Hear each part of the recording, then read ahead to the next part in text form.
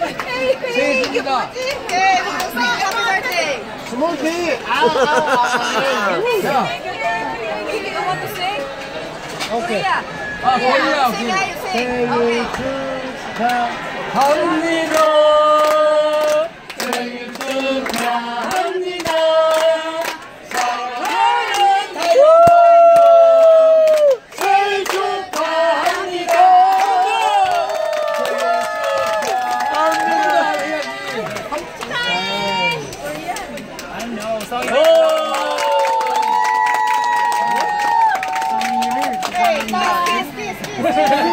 축하합니다. 이렇게.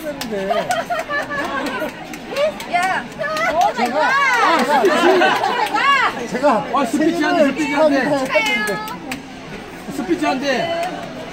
그러니까 생일을 축하합니다 해야 되는데 그래. 어디 갔어? 스피치 한다는데 왜 그래? 그 사람 스피치 한다 그랬잖아. 아니 나랑 키스하라고 아니야, 스피치 한다 그랬어. 아니야 나랑 키스하라고 그래 오빠랑 키스, 키스, 키스. 미쳤어? 어 깜짝 놀랐네